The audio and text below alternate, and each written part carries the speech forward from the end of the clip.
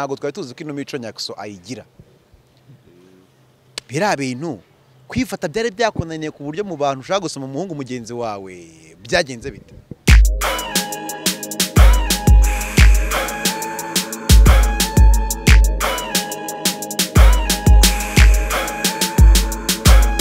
Urifuza kureba filime nziza ndetse n'indirimbo zigezweho zaba videwo cyangwa audio? Biroroshye. Niba ukoresha iphone cyangwa ipad jya muri apple store udawunilodinga application yitwa mascom. Ku bakoresha android namwe murayisanga muri play store. Ku bifuza gukoresha website mwanyura kuri www akadomo mascom group akadomo com. Kugira ngo umenye iby'ingenzi ku rubuga rwa mascom group wareba tutorial video kuri youtube channel ya mascom tv mascom. We've got everything to rewind your joy. Ye nanone nizere ko mumeze neza. Aho muri hose wherever you are. Nitwa Irene Murinda habi kashamakokero cyangwa se Mordecai nkorera kuri Onomo Hotel. Ni naho naki rero ah, ah, abanyarwenya babiri bakaze mu Rwanda. Nuko muri East Africa. Ubu ngo byarenze imipaka. Ni East Africa. Byabaye international. Ibintu byabaye international. Mr Nyakso. Fresh. Iminsi myinshi byatari mani iminsi amahoro. myinshi kabiri ni amahoro ku masi warambitseho turinete ingofero nsonga iki? Ni riders sibyo yego. Ah, biracamo ku rundi ruhande mfite umuntu witwa Seiti ya ya. Ni waneze ni waneza kabisa ni se Eh, byarangiye. Nyakso aba a- asimbuye umusaza muri zubi ah, nsimbuye nsimbuye samu oya wapi. Ahubwo nawe afite ahantu yaserukiye Yeah. nabo bafite ahantu bagiye ni ugutangatanga nyine tumenyesha turi abantu gutangatanga hari ikintu gihari cya danje kigiye kuba. Eh, niyo mpamvu samu hari ahantu hari na ba mitsutsu Na ba fredi natwe tukaba twaje hano twaje hano kuri emi impaye asundi umeze neza? Ire turaho turaho umeze fresh. Mwaragiye- cana biracamo. Mwaragiye murabura kweri. Sha wapi kabisa wapi. Kigali nyine kubera guhiga cyane abantu baburana kandi banaturanye Mm, ese usa igihe igihe waburanaga na puisa hariya hepfo muturanye ariko mukaba mutabonana kamonyi se oya ahandi yari atuye igihara mani aho yari atuye si igihara ntago mbizi irene n'uw'igihara se nawe Eh, irene n'uw'igihara puisa mu gukora amabanga ate avuye kamonyi avuye igihara ahubwo umuntu ukereza nshuti? Oya wapi? Arazinduka arizindura. Zindukana n'abagiye muri nibatuye. Eh. Ngayo nguko. Amakuru yanyu rero. Ni fresh kabisa. Tumeze Oh. neza. Zubi bimeze bite? Nyuma y'igitaramo mwahise mujya kwihisha mugomba kugira mutegure ikindi. Zubi bimeze fresh urumva. ariko twasuye n'andi mavideo nyuma y'igitaramo. Abantu barayabonye yaba kuri instagram kuri youtube. Ariko twari turi bize nyine turi gutegura bino bitaramo bya east africa nk'uko mubizi umwaka ushize twakoze muri kenya. Dukora n'i kigali twari dufite i burundi hari hasigaye burundi na uganda. Rero kuri iyi nshuro tugiye kumanukana n'ibi byamamare. Harimo nyakiso harimo mitsutsu ah, harimo zubi harimo mc triki harimo na fred rufendek tugiye kujya i burundi kuri tariki esheshatu z'ukwa munani. Bujaville bujaville tugiye kujya ahantu bita kinindo kabisa. avidi laji Ah, aho ngaho ni mu burundi ni ho hantu donatis conference. Sonatis conference ni ho hazabera igitaramo Ah. abantu b'i burundi turabatumiye bazaze tubataramire abantu b'i burundi bakurikirana emi impaya Mm. muzahagaragare muri benshi. ndashaka kubona hasi muri komantere mbere y'uko tujya no mu bindi bintu tuganiraho abantu ba- bazaba baramika muri tudarapo tw'i burundi. Burundi Love kabisa. from Burundi. Eh. abantu hafi mu burundi. Eh. ariko by the way tujye kureba n'abantu bakurikira ibikorwa byo mu rwanda benshi n'abarundi barimo. Abarundi nabo barimo barimo. Eh, abarundi barabikurikira bakanabigaragaza. Eh. ahubwo ikintu kiba gitangaje ni ugusohora video. Ukabona komenti z'abarundi ni nyinshi kurusha iz'abanyarwanda. Kuko abarundi bo ni abantu bishima bakanabigaragaza bakanabyandika n'amadarapo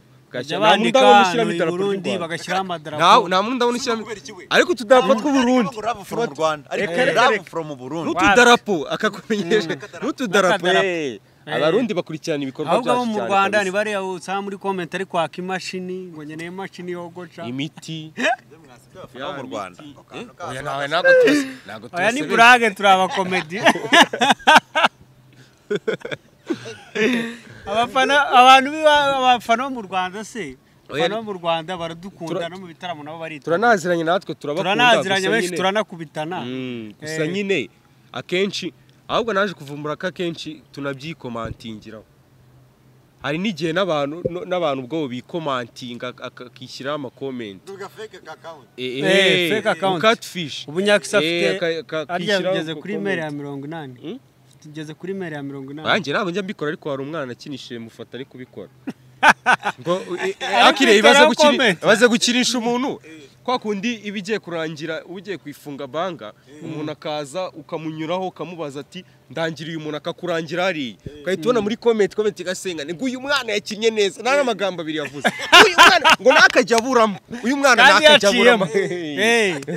Hari ikijama nigeze guhura na cyo cy'igifana Mm. Kirambwira ngo mani ngo buriya ngo biriya bintu ngo muba mukora ngo twebwe ngo tuba twarabikoze kera. Ngo ngewe ngo nakinnye muri za muvi za kera ndamubwira nyereka muvi wakinnye. Ngo bro ngo ngewe ikibazo ngo nakinnye nihisha mani. Mm. ndamubwira ngo nyereka ngo kandi narakinnye nihisha ngo wambona gute? Mbona gute nakinnye nishe Eh. noneho ah, mugiye mugiye kujya i burundi ariko yaba nakusa afite proje ze namwe mufite proje zanyu mitusa afite ize nyine mwafashe abanyarwenya basa na menshi pe. Mm. haburagamo ubundi nsabi mu bantu bari bari trained hano mu rwanda. Eh, haburagamo nsabi ndetse mpamvu mutamudi cyangwa yaranze na kiramani. Na kiramani. Kiramani baratwite. Ntabwo wajyana umugore utwite. Mu- Rwajya umuntu uza mu bitaramo. Bimufatiye ibise bimufatiye urumva stages. bimufatiye stages. Byaba ari ibibazo. Tunga seti niyo uri kubivuga. Iseti niyo uri kubivuga ibyo bintu byasaba ko agenda muri ambilanse kandi tuzagenda mu modoka zisanzwe. None se urumva? byaba ari ibintu bigoye mani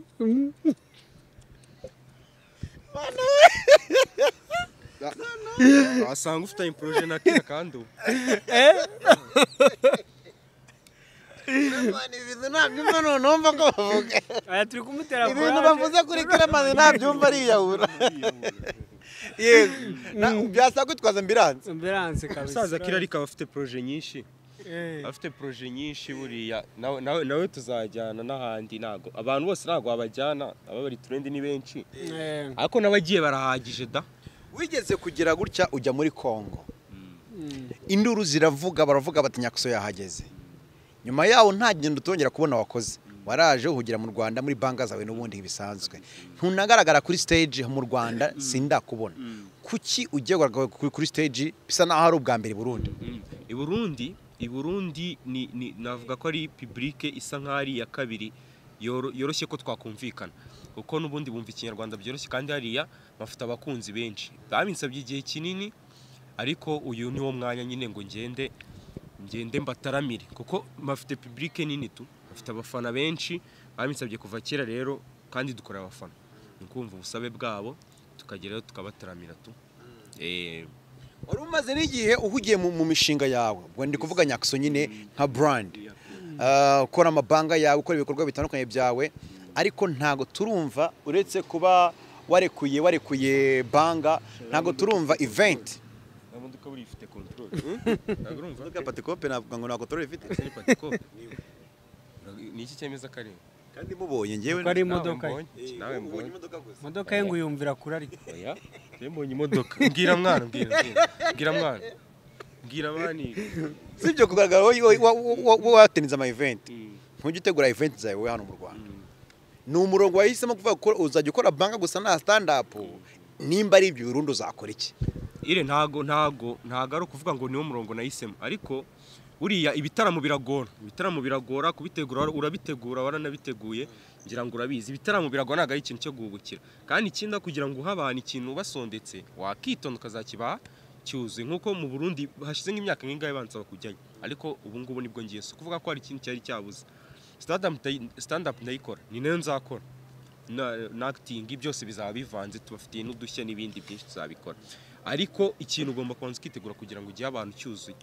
Utabasondetse umuntu witwa umuntu witwa papa sava naramaje ikibazo gisa nk'icyawe. Sebu. seburi koko namubaza nti ko uri umunyarwenya ukunzwe mu gukina hano mu rwanda? Stand up ntiyakunaniye. Cyangwa urebashe nuko udashaka kuyikora? Arambwira ati nge stand up nshaka gukora. Si iyi ngiyi bano bahungu bakora. Ati ninyikora nzayibereka ariko si iyi ngiyi. Wowe iyawe. Ukora tutarabona niyo ugiye kwereka abarundi? No mu rwanda tutayizi. Ni agashya ni agashya ntabwo najya kwerekana ibintu mwabonye nawe ngiye kubereka ibintu mwabonye se ngo bimare iki? Ntabwo abantu baza kureba ibintu babonye already. Ni agashya nyine. Ariko irahari. No ku kibuye twarakoze nuko wenda aba ari ubusho butoya buba buta- buta- butavuga cyane se muri kongo nagiye gukora iki? Sinagiye gucuruza amabuye. Nagiye ngiye gupafominga nta kamera najyanye ngo ndakitinga nagiye gupafominga kandi narapafomize kandi abantu barabikunze. Ndabikora ariko ntabwo ari cyane. Nyine ibyo nkora cyane ni acting. Nayo ni na yo ngiye nkunda cyane kuko stand up iragora. Gutegura ibitaramo biragora bya hatari so umuntu agomba kubanza agakora ibintu bi- bisa nk'ibyoroshye noneho stand up akajya ayikora gake yabipanze. Mm. nyigufite naransubira hariya ruguru. Mperuka kwakira abantu batandukanye barimo n'umukobwa witwa kecapu umukobwa buriya nubwo ari umu actrice ukorera n'ibintu bitandukanye ariko iyo afite point ye ntabwo ajya agendana atayivuze. Avuga ngo sindi pfana aravuga ati ko mwatanze amawadi menshi ku kinyakso nta wadi n'imwe muramuha? Kandi amaze igihe akora ibintu byiza igihe kirekire. Wowe ubwawe ubitekerezaho ko rero bavugaga? Mbo icyambere njye ntago nkora ngamije awadi. Ikindi abantu bategura awadi bafite imirongo baba bagennye kandi nabo ni abantu. E- either bagendera ku batoye cyangwa ibyo bashyizeho ikindi baka- bakagendera no ku marangamutima yabo cyangwa se simbizi. So uwo babonye yikwiye iyo bayimuhaye njye ntago naburana kuko nibo baba babiteguye. So njye nta ndumva nta kindi. Nibabona nyikwiye bazayime. Ariko mu gihe hari undi wenda watowe kundusha cyangwa babona ari uyikwiye bakayimuha nyine tuvugisha ukuri nta nta- nta gatima katari keza bigutera tukiyagarareho ntibikubabaza irereka mubwire hari igihe ubabara ukagera ukabona nta- mpamvu yo- yo kubabara ugifite. Gusa njyewe ntago bimbabaza. Kubera ko dore ikintu cya mbere. Ire niba niba niba warakoze youtube ikagera ikaguha siliva ya mbere ikaguha iya kabiri ikaguha zingahe icyo gihembo ni, platform dukoreraho nabo muba muhanganye baba bakoreraho niba iyo platform yo yaraguhaye igihembo abandi bategura ibihembo ni amarangamutima yabo. Niyo bagenderaho cyangwa se wenda n'abandi batoye simbizi. Amarangamutima y'umuntu ni amarangamutima y'umuntu nyine. Ntagukunze nkakunda seti ntabwo wabindenganyiriza. Yeah. nakunze seti nyine. Nose niba ntagukunze ntacyo wabikoraho. Ariko ibihembo bya mbere tuba tubona ni ibihembo bifite standard bavuga ngo niba ugejeje ibihumbi ijana niba ugejeje angahe igihembo turakigwaye. Icyo ngicyo biba bigaragara. Niba wagifashe abo bandi bategura ibihembo byabo ntabwo wazanamo ngo kugiye ngo kubabazwa cyangwa nta nubwo wabitindaho. Okay fresh sun. Iwacu comedy festival. Si ubwa mbere muyiteguye. No mu rwanda mwarayiteguye mu buryo mwanashyizemo n'aba n'abakiramani n'abanyambo n'abantu benshi baba bakozemo. Na kenya. Mwarayikoze Ah, i- ino sitire yo gukoresha abantu bakora acting mukabazana ku ma stage. Mwabonye ikora ku buryo ariyo mugiye kujya mukomeza ahubwo. Ah, ntabwo ari ukuvuga ngo ni ukwikomeza Ah, iyo iyo utegura event uba ushaka ko iyo dutegura event iyo duteguye event tuba dushaka ko kiba ari ikintu kinini. Buri muntu wese yisangamo. Kandi iyo twakoze umwaka ushize twakinye Miss Murenge irimo abakiteri bose bakomeye mu gihugu harimo babamenya ba Kiramani ba Nyambo ba Ariya Mm, ni bari benshi. Rero ni ukuvuga ngo ntuza hari aba- hari abantu badukunda kuri youtube. Baba bifuza kutureba turi stage dukora nk'ibyo dukora kuri youtube. Hakaba n'abafana bafana stand up gusa so rero tuba twifuza kubivanga kugira ngo abantu baryoherwe muri rusange. Usibye ko na benshi bakora byombi. Nk'ubu nkatwe dukora byombi. Turakitinga tugakora na stand up na nyakisa akora byombi na mitutsi akora byombi. Rero biba byiza nk'ubu ngubu nidutegura kira kira kira kuko utamuvuze kira oya nzavuga umwana we ndetse wavuga kira nawe umubyeyi akora byombi. Tuzavuga umwana we mani gusa wavuga kira. Afite umwana. Hari igitipe mani cyamusereje ngo afite indi imeze nk'imva y'uruhinja mani sinzi ikintu babahora kira mani mani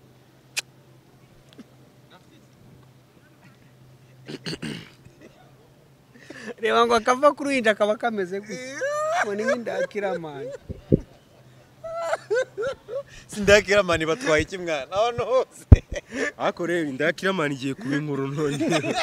Inda- inda ya kira igiye kuba inkuru ndakiramani buriya buriya buriya ndengo ni girande nituma abona views ngo buriya igabanyutseho gato. Ngo ngo yahita abura views. kiramana atanze amezi atatu. Eh? Yavuze ati mu mezi atatu ngenda amavuta akareka mu mezi atatu mu- mezi atatu araba afite nini ahubwo kurenza hariya nyereka nareka nyereka niba mufunga. Wese aba murenge runaka ugufunga ayo mezi atatu kuko ugihari yongera akomeza yiyongera kiriya makuru bitewe n'ukuntu ukunda kurya nkuzi ntabwo waba utarya kwera kabisa. Hmm? yego. Ah, ku rundi ruhande nyakuso hari akavidewo uretse kugaragaramo ushaka gu- gusomana n'abamenya. Muri mu gitaramo. Ashatse kubyina wowe ugerageza gushaka kumusoma. Ibintu byagarutswe n'abantu benshi bavuga bati ntabwo twari tuzi ko ino mico nyakuso ayigira. Biriya bintu kwifata byari byakunaniye ku buryo mu bantu ushaka gusoma umuhungu mugenzi wawe byagenze bite? Oh, tubwire abantu ko turi kumwe na mascom ni application nziza cyane ushyira muri fone yawe ya iphone cyangwa se na android cyangwa se ugaca kuri website yacu mascom group. Com ubundi ukareba filime nziza zigezweho zitandukanye. N'imiziki myiza iriho. Nimba uri n'umuhanzi wabavugisha ubundi ukabaha indirimbo zawe bakazishyira kuri iyo website kubera ko ni uburyo bwiza bwo mu rwanda ushobora gucuruza imiziki yawe bikoroheye which is nice and professional. Turi kumwe kandi na samsung 250 y'amafone meza cyane. Nimba ukeneye fone nziza gutyo bikore uce hariya mu mujyi zeru karindwi umunani umunani itatu rimwe itandatu n'umunani icyenda rimwe ubundi bakwakire. No muri musanze by the way twafunguye y'ishami rya samsung. 250 amasikirini meza cyane turayafite. Yewe amafirigo n'amakwiziniyeri ni bon cyane.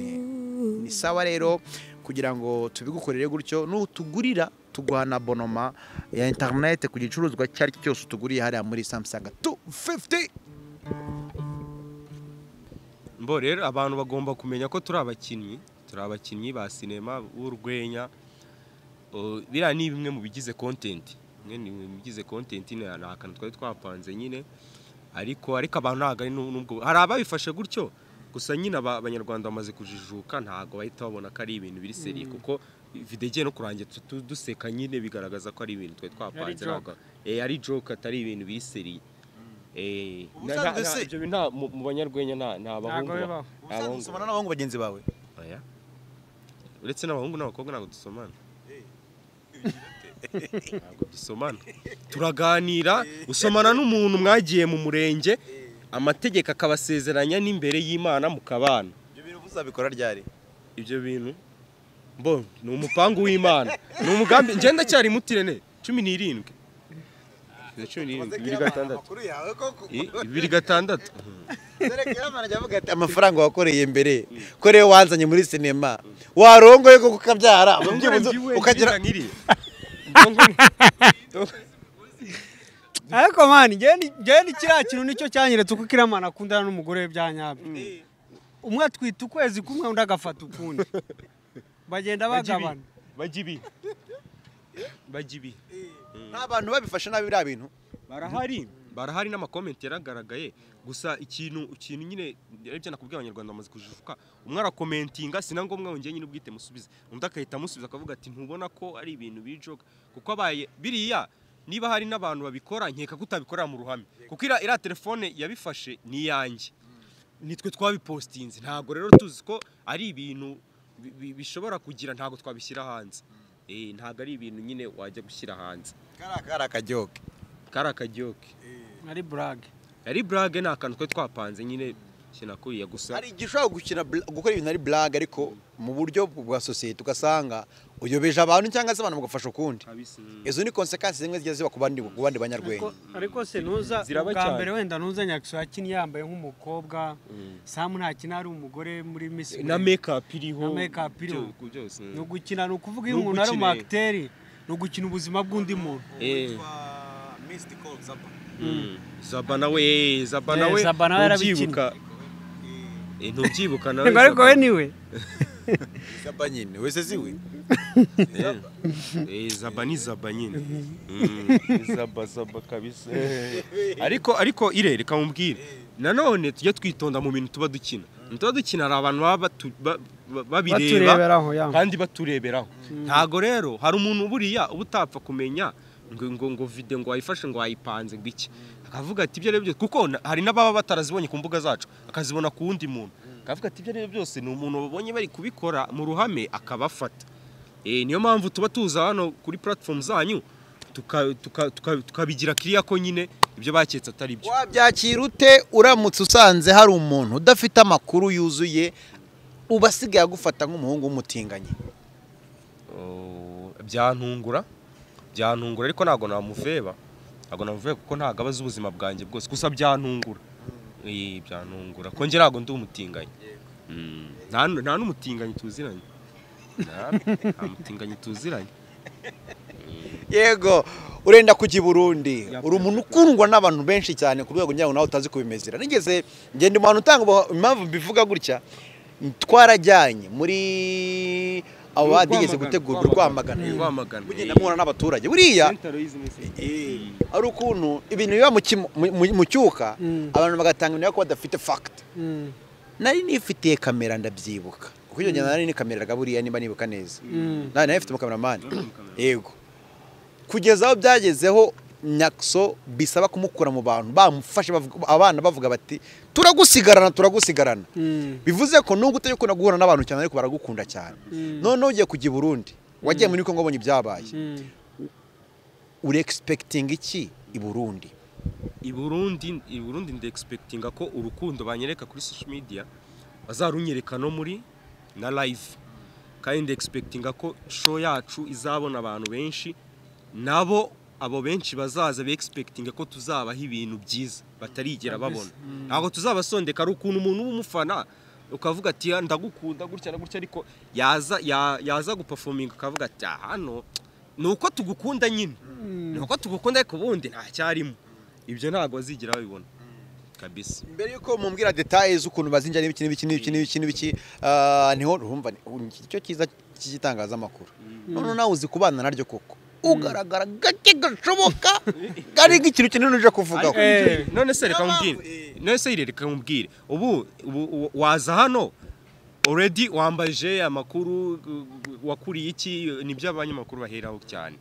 Aba byose wabibajije ubuzima bwite. N'ejo nkagaruka ukongera ukabimbaza. Nta kintu naba ndi guha niyo mpamvu na- nanjye aho nzatukubonera tubikubaza byose. Mu mezi atanu ashize wavuzwe ko wafunzwe. Wari wafungiwe ikinyakisoro mu mezi? Atanu ashize. Mezi atanu ashize ubwo ni mukakambwe sori gato. Sori gato. Kamwihorere inguni ire mbo ibyavuzwe ibyavuzwe byaravuzwe kandi byararangiye. Ibyavuzwe byaravuzwe kandi byararangiye gusa n'ababashije kubikurikirana n'ubundi byari biri ku mbuga nkoranyambaga eh, bagiye babivugaho inzego zibishinzwe zagiye zibivugaho ndumva nta kintu nakongera kuko niba ibintu bivugiye kuri instagram bikavugirwa kuri televiziyo bikavugirwa nta muntu wundi uba udafite amakuru. Rero buriya nta n'impamvu z'uko ibintu biri negative umuntu abirebaho cyane. Ibiri positive. ari kugira igira icyo ubivugaho Biri ntiwigeze ukura abantu mu gihirahiro ntiwigeze like waracecetse cyane birumvikana ko urumva nimba kuko handitswe n'inkuru ko wanarekuwe ubu ngubu ari amahoro nta kibazo ufite bivuze ko byabaye rero. Mbo njye ndumva nta kintu nabivuga ibintu biri negative man. Ibintu biri negative nyine ni ibidusubiza inyuma tu. Ni ibidusubiza inyuma. Kandi hakaba abantu bakunda inkuru ziri negative. Eh ubu hari umuntu wicaye gutya avuga ire aho. Komeza ubaze komeza ubaze. Komeza ubaze komeza ubaze. Ariko ariko uri icyamamare ntabwo wabikwepa. Ariko buriya ibintu biri negative njye njye ntabwo njya nkunda kubivugaho kuko ni ibintu binsubiza inyuma tu. Eh, nawe nta kintu byamumarira. Ariko mubwiye ati mfite show hano cyangwa se nkamukubita diri nkavuga ati hari ahantu undi kwamamaza atanga ibintu bi- bi- byiza turashima imana ko wavuyemo mbo njyewe njyewe icyo nshima imana icyo nshima imana ni uko ibintu byaravuzwe abantu bose babivugaho ariko nta nta mahoro nta kintu nigeze mba Eh, nta kintu nigeze mba byaravuzwe ariko nta kintu nigeze mba ibyo ngibyo nagira ngo numve radiyo ah ugafungwa afungurwa ni ikintu umuntu aba akwiye kwishimira. First time n'amaporoje noneho nakunze ko wanagarutse ugakomeza ugakora bikaba bimeze neza ubu ngubu brand yawe kugira ngo kugira ngo ukipinge izina nyakso uvuye muri afrimax ugiye kwikorera ugomba gukomeza kuri ya levo y'ubusitari kuri za banga zawe. Nyakso bigusaba iki imyaka yose uri gukora ibi bintu? Binsaba gukora amanywa nijoro bikansaba gufatanya na bagenzi banjye dukorana Uh, kandi bikansaba no gusenga ni ibyo bitatu. Gufatanya na bagenzi abagenzi banjye dukorana nkakora cyane ubundi nkasenga nyine ubwo- gukomeza kwicisha bugufi. Ko nta muntu uzamuka kurya atamanuka. Nta n'uba uri hasi kurya atazamuka. Eh, gufata mitsutsu mugafata nyakso n'abandi banyarwenya baremereye gutya mukabajyana i burundi. Si amafaranga ahambaye babaciye? Ah, amafaranga kuri tete ntutubeshye amafaranga kuzumvisha ntago- nyakso ngo ngiye kugushyira muri mu- muri muri mu bitaramo atasangwa adakora no mu rwanda. Eh, noneho nkujyane i burundi. Mm, u- uba uretse gushutinga banga zawe mm, poroje zawe hano mu rwanda ubu ziha akanya gato tujye i burundi tugaruke. Mm.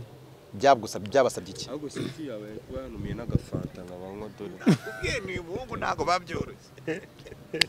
Nta kibazo ndizera ko ah, ah, ari byo akomoje yavuzeho gatoya. Mbikubajije Mm. n'abinaha bamugerageje bategura ibitaramo bagiye batubwira ko ahenda kugira ngo bamubone.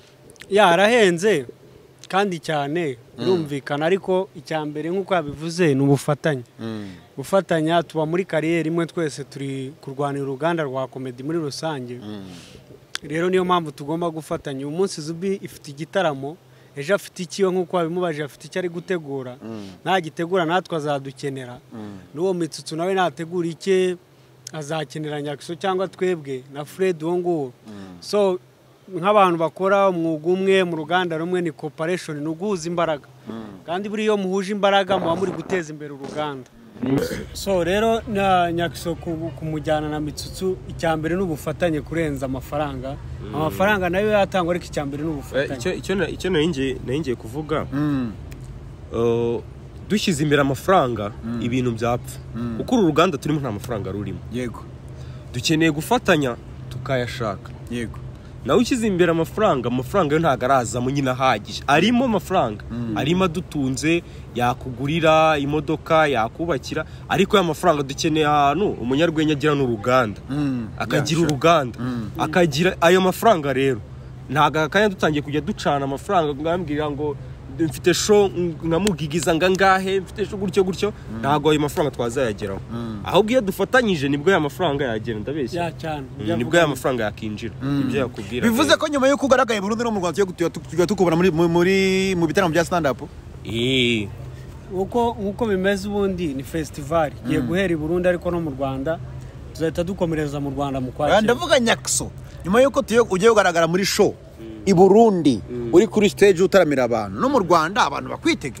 No mu rwanda kabisa eh, banyite ko ntabwo wajya kubikora Eh, mbo- oya ndabikora ndabikora ire ariko ntabwo mbikora cyane.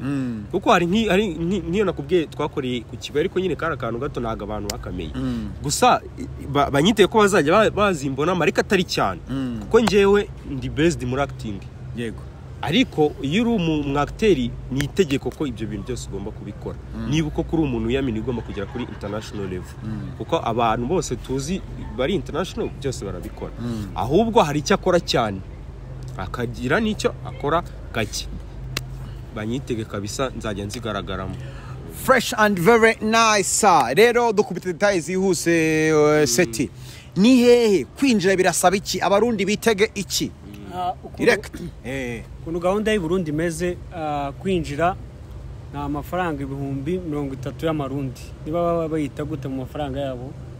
Ni 30 y'amarundi muri vip ahasanzwe ni ibihumbi icumi by'amarundi. Ni ukuvuga show izabera kinindo nk'uko twakomeje tubivuga. Kaze ndebe kuri afishe neza ni byo sawa. Utaza zokayitse ntabwo zizi neza. Kutubeshya. so utaza kwishyira ingozi iri mu gitego. Eh? Mm. eh? Cekinga cekinga seti. Abarundi bababwira icyo bajyanye ahantu? Eh. nabonye bitoroshye. Noneho ikintu kirenze ni ukuntu igitaramo kitari gutegura utazi aho kizabera.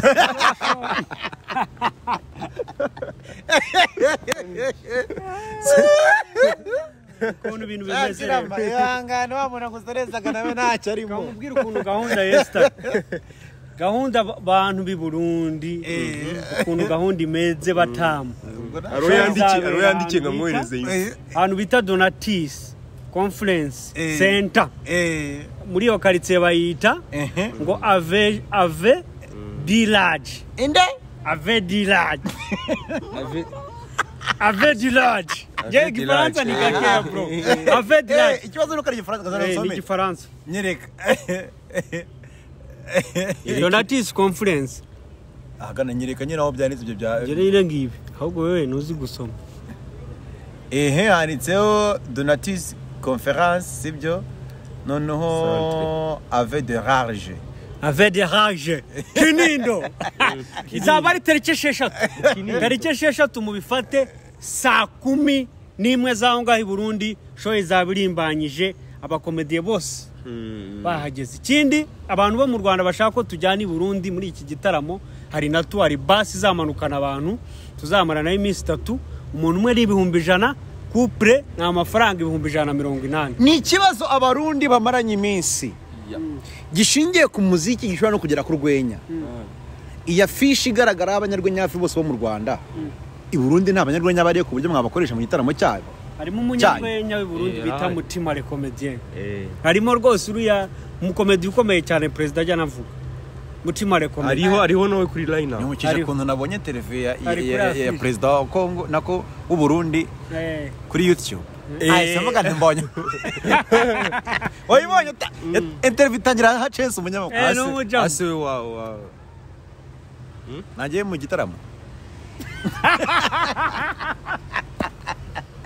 Uyu mutipe So- so- ariko- so wabonye interview. Mutipe. so wabonye interview. we. wowe se interview. Interview yacu izasohoka ryari? tuzajyana tuzajyana i burundi interview yacu izasohoka ryari Sohoka ryari iyi ngiyi turi irahita isohoka muhumure interview yacu izasohoka Uyu mutipe wanjye. Irene. Ah, ema yimpa yake ema yimpa ya kabisa ibaza ariko umunsi na Ni hostinze ugushima- umusaza ni ugushima imana Ariko- ariko ibaza kuva- umunsi na hostinze umusaza usinze umusaza. Ni- usinze umusaza bulldog. Abasaza ni benshi uriya na pifura ni na umusaza pifra ni ni umusaza abasaza ahubwo Eh, umusaza pifra kabisa. Icyo kiganiro turagitegereje. Eh, cy'umusaza Piff. umusaza makanyaga Eh, nubuko kabisa, igitaramo eh, cyagenze gute? Kabisa. Irene hari umunani ushaka kuvuga ujya unyambika tu? Eh, tujye tuvuga abantu. Bamwita prince connection. Ni umwana ufite imyenda myiza kabisa originale uzibona zino drip. Unabonaga imyenda yambaye ari iyawe Hmm? oya nshobora kuba nayiguze. Eh, Eh, Ariko aho yayiguze. aho nayiguze. Bamwita prince. Eh. ufite imyenda mishyashya ariko avuze ngo nshobora. Urumva? Nshobora. Nimero z'umuntu ukeneye zino drip zimeze gutya n'izindi zitandukanye. Zeru karindwi umunani tandatu karindwi tatu gatandatu itanu gatandatu gatanu. Ya. Ukagura drip nk'ize tujye duteza imbere urubyiruko Shayire, ntabwo utazateza imbere n'umwana uri kabisa. kwiyubaka ni ntabwo urubyiruko utaza- utazateza imbere bazagushinga ikindi karisa tuzazira ikindi nyakso. Ah. sibyo Mm. noneho kugira ngo abandi ujya kuvuga ujya kuvuga umuntu wamamariza akayigutunga ngo. Ukagira ngo byajemo Eh, ukagira ngo byajemo ukagira ngo byajemo wa ni byo ariko ni byo Eh, byiza niko biba turi bikwiye. abajene Eh. tuba dukwiye Eh, ejo nawe wagenda akakwambika Eh, ni ukumuteza imbere nyine nawe umuteza akagira. imbere Yeah, abajene. turasoje rero nari mfite seti ndetse eh, na nyakso. Ubundi ni byiza ko man ni byiza ko ni byo wavugaga. Yeah. iyo uteje imbere bagenzi bawe nawe utera imbere. Nawe utera imbere kabisa. Ntubaze abantu bavuye kuri nyakso ntabwo wabara ukagera ukaruha. Baracyana gukorana ikiganiro cya mbere? Oya! Aba like produit abantu yagiye azamura muri muri Oh, muri komedi benshi, ze benshi, na n'ubu bakaba ari abasitari Mm. Benshi. ukarambirwa. Kabisa bamwe bazanye n'indashi Ubi- nyine byarabaye n'abazi. Bamwe bahishe nyine. Si muniga bitebye ma. Ah, ni muniga yo muniga. ingumi ya kiramani wayikira tujye tuvugisha aya gusa kubita abantu bari kumwe mu kiganiro nta kiganiro. Ntabwo yaza ngo yinjire muri kamera yakiza bakagukubita. ubu yagira Yamurega. anariruka. Eh. ubu yagira anariruka kira. Kugira ngo yavari akagira anariruka. Byasaba ko aza mu gitondo. mwegeranye n'ibyo bibi. Byasaba ko aza mu gitondo. Eh ngwiki? Byasaba ko aza mu gitondo. seti gezaho gezaho mwana gezaho gezaho uriya uriya ni umubyeyi seti seti uriya ni umubyeyi ko kiramani ari umubyeyi uzi ko afite abana bro barenze umwe gafite ahantu harenze umwe ako kantu rero kinyakuso karamujanye cyane bakamubwiye ahita avuga ngo wakubyara abana bataziga ngo nabireka. Abana bagira amadini biga oya bariga. Bariga bariga. Bariga, biga no widefandaga nabi oya njye naravuze Eh. umuntu agomba kubyara ari tayari. Eh. sibyo? Umuntu agomba kubyara ari tayari ntabwo ntabwo ngomba kugenda kuri pressure ya kira eh. Aho kugira ngo njye mbyara abana. Ubundi wowe na ninde mukuru. Ni kira njye ni kira ni kira ni we mukuru. Kira mani ni mu- ni ni mukuru bya atari mani. Uramuruta? Yewe we uruta seti. Waruta seti? Nyaganga reba reba uyu mutsi w'umuganga ibindi imana igusobanurire. Indi mwuka wera indi mwuka wera kubwira kira wavuga ibindi ariko ibyo kuruta seti ibyo ibyo kuruta seti ibyo ntabwo turi buze kubyumvikana. Yakubajije ikibazo kiramani kivuga ngo niki uteganyiriza abantu mu minsi iri imbere? Eh mhm. abantu ndabateganyiriza n'ubundi amabanga arakomeza. Ikindi ndaba- ndabateganyiriza gukora agaseri agasizoni uruhererekane. Ikindi ndabateganyiriza amasho ibindi biracyari ibanga ariko bizagenda bibageraho tuzagenda tubibagezaho kuri ema y'impaye Yap. Mm. akoze cyane. Reka twitegure ko twongera kuganira. Iraba ryari? Ushobora aba kuri esheshatu z'ukwa munani munani. ariko na hano i kigali turenda kugaruka turenda no gutangira show ya buri cyumweru izajya iba buri cyumweru. Wikire show. Eh. Eh? Amafaranga azava mu bitabira. Azava mu bantu mu bafata jenzi se si simaze gutera imbere? Eh. Imaze gutera imbere. Ubundi mu rwanda nugora baseka Eh, kabisa. Jenisi komedi iba buri byumweru bibiri. Buri seka live nawe ni buri cyumweru. namwe ni buri cyumweru Eh, Mm. banze kababayeho Ah, ma- buri cyumweru abahanzi bara- baraza mu mabanga baze mu gusetsa abantu abahanzi rwose Eh, show ya buri cyumweru biragenda umusore ayikora rimwe mu mezi angahe? Eh. Buri cyumweru. noneho uriyeranje mu mabanga yawe hose. Ntaho ugaragaza dread ufite. Eh, mbona uko biterwa na role biterwa na role mba nakinnye biterwa na role mba nakinnye role yo kuba umupapa kuba umuhanko w'umwana ntabwo nyine abanko b'abana ntabwo tumenyereye ko baba bafite amadirede bisaba wisanishe n'ikintu tu Eh, hari banga n'imwe mu- za hafi? Uragaragaramo ufite dread? Eh, hariyo nakoze ariko izasohoka. Nyine mba nagiye kwiba ahantu tu. Mba nagiye kwiba ahantu eh, mpita nkuramo ingofero nyine bigaragaza ko ndi umundi igisambo koko. Aha. Bivuze ko dread zawe zifashije ugaragaza kuri igisambo. Kandi no mu buzima busanzwe noneho urazifite bya nyabyo. Ariko ntabwo ndi igisambo. Uzi impamvu se? Ni ukubera ko buriya. Nta- ntabwo mvuze ko abantu bafite direde aba ari ibisambo Ibyo si byo mvuze. ni nk'uko ni nk'uko ni nk'uko iyo ugiye iyo ugiye iyo ugiye gukina role role y'umutinganyi wisiga make yego. Cyangwa ukagira. Ni uko se abatinganyi bose bisiga make Wapi? wapi? Ahubwo ibintu abantu ibintu abantu biyumvamo ko ari uko wagakwiye kuba umeze. Niko ugomba ku- kubereka Mm. kugira ngo nyine bahite biborohera. Ntabwo aba ari ukuvuga ngo ngo ni uko ngo ngo ngo ngo abantu bafite amadirede ari ibisambo cyangwa iki? Ahubwo abantu borohereza mu mutwe. Ntabwo ukeneye kujya kubwira umuntu ngo akaordineri ngo uyu nguyu ngo aje kwiba. Nyine mu mutwe we kuko ari byo yishyizemo ntabwo abi- abi- abikurura kandi nibo nibo dukorera. Wag- wagerageje gukora amarore hafi ya yose ariko tubwire rore yakunaniye ukavuga uti shamani iyo yanze kabisa. Kanumve. rero yo gukina ndira. Rero gukina ndira akenshi akenshi zirangora tu. Ariko na rero kwigira umusazi kira yakoze nge yangora tu. Yangora kabisa. Kandi biri seriye mani yego yego biri seriye kira mbere nabimubwiye kira eh kwigira umusazi nyine. Eh. Kira buriya ni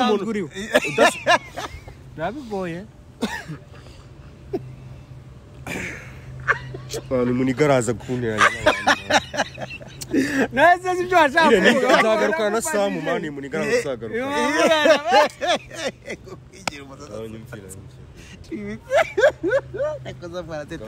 uruwa stand up kabisa y'umura Nawe unyumvire. ngo kukiza ati? Eh? Icyo yari ari gusobanura basobanuraga kwigira umusazi. Biragoye. Usanzwe uri muzima. Eh. Si ibyo ushatse kuvuga ababyigira se basanga ari abasazi none oya ariko point yawe wayivuze nabi ngiye ngufasha kuyisobanura kuko washatse kuyiderivaringa ngewe ikintu navuze nakivuze. Wowe ushaka kuntera navuze ko role yo gukina wigize umusazi igoye. Yego. Ibyo ibyo kongeraho ngo uretse ibyo kongeraho ngo udasanzwe uriyo gusanzwe ibyo ntabyo navuze. Njyewe nagarukiye aho? Nashyizeho kugira ngo akadomo. uyibashe bisaba iki? Komereza ubu ibi ni se turi kuvuga komereza oya ni wowe ndi Komereza. kubaza kuko dushaka ko tubwira kugira ngo- umuntu ayibashe. Bisaba iki? Bisaba kuba bisaba kuba iyo role uyiyumvamo. Ubashe kubamo oya oya. Bisaba kuba. Bisaba kuba ubashe kuyikina ntabwo ari eh, Eh, ntabwo ari ukuvuga ngo kubamo. ikurimo nyine. Ikurimo. Nese ubu reka mbese ubundi seti wowe herabivuga kuri muzima. Eh hera uvuga kuri muzima. Ngewe. Wenda basize nuko- baba na yo bameze wenda basize nuko baba bameze wera uvuga kuri muzima mugani. Nuko iyo role nanjye yize ni iki nayibonye. kikubwira ko utasaze? Ko narayikina ko narakina iyo role ubwo abayikinnye.